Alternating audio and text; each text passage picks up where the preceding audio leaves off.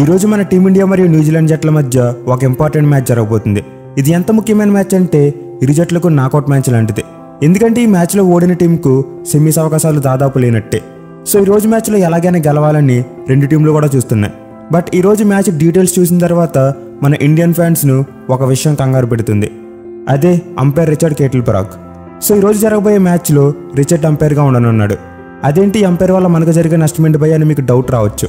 రెండు వేల పంతొమ్మిదో సంవత్సరంలో ధోని రన్అట్ అయినప్పుడు రిచర్డ్నే అంపైర్ అంతేకాదు రెండు వేల పద్నాలుగో సంవత్సరం నుండి మన టీమిండియా ఆడిన ప్రతి ఐసీసీ టోర్నమెంట్స్లోని నాకౌట్ మ్యాచెస్లో రిచర్డ్నే అంపైర్ అంటే రెండు వేల పదమూడో సంవత్సరంలో మనం ఛాంపియన్స్ ట్రోఫీ గెలిచిన తర్వాత మన వాళ్ళు ఆడిన అన్ని ఐసీసీ నాకౌట్ మ్యాచెస్లో అంపైర్ రిచర్డ్ కేట్ల బరాక్ ఒక పార్ట్ అన్నమాట. ఇక అతను ఎంపైర్గా ఉన్నప్పుడు మన వాళ్ళు ఆడిన అన్ని నాకౌట్ మ్యాచెస్లో కూడా ఓడిపోయారు. దీంతో ఇప్పుడు మరోసారి అదే సెంటిమెంట్ రిపీట్ అవుతుందా ఏంటి అని మన ఇండియన్ ఫ్యాన్స్ కొంచెం కంగారు పడుతున్నారు. ఇక ఇదే విషయాన్ని మన team India former player Wasim Jaffer కూడా ఒక మీమ్ రూపంలో తన ట్విట్టర్ అకౌంట్లో పోస్ట్ చేశాడు.